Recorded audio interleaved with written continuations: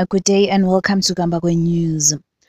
The President of the Republic of Kenya, Dr. William Ruto, has arrived in the country for a two-day state visit. Dr. Ruto was received by his counterpart, President Emmerson Mnangagwa, at the Joshua Mqabuko International Airport in Bulawayo. This evening, the two heads of state are expected to witness uh, the signing of agreements and memorandum of understanding uh, between various entities from both countries at the State House in Bulawayo.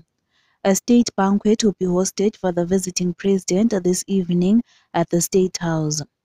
Uh, president Ruto will officially open the Zimbabwe International Trade Fair uh, 2024 edition this Saturday. Uh, for these and other stories, please do like and subscribe to our channel at Gambakwe Media.